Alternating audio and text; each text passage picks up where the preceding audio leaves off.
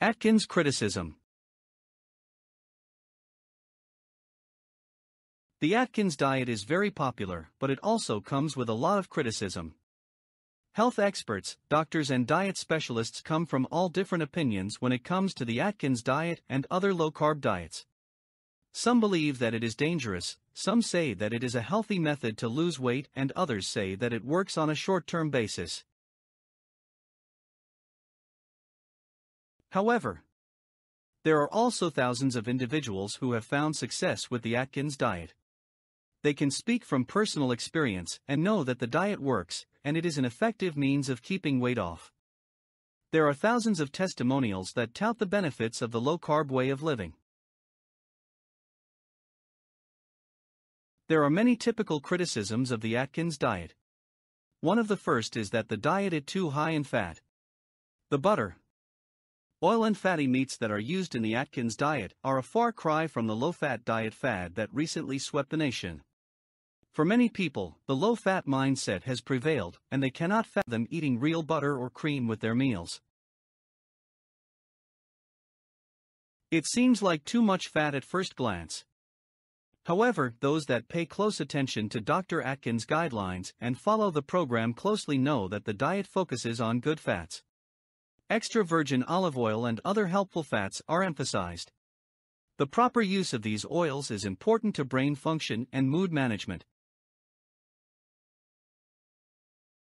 Another popular Atkins criticism is that it focuses too much on food and not enough on exercise.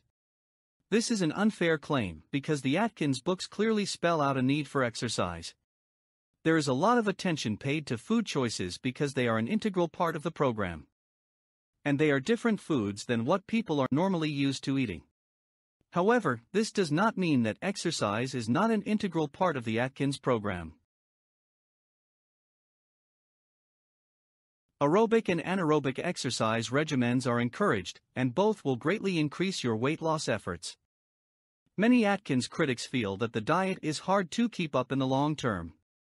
Critics in this category will admit that Atkins is effective in short term weight loss efforts, but point out that the lifestyle is hard to maintain over time.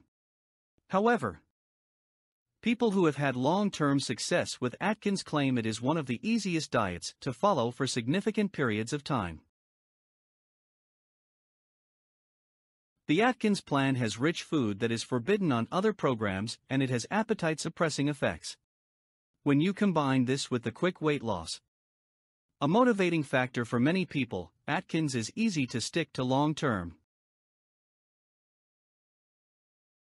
The side effects of Atkins, like constipation and bad breath, have also been a topic that Atkins critics are quick to point out. However, these side effects are not as common as critics make them out to be. If they do occur, the side effects normal only last through the first phase of the diet. Additionally, drinking additional water will normally take care of both problems rather quickly. There are pros and cons to many diets. If you don't particularly enjoy preparing and eating meat, then Atkins is probably not for you. But if you are considering Atkins, make sure to look beyond the common criticisms for the truth about the diet. Thank you. See you in the next Atkins video.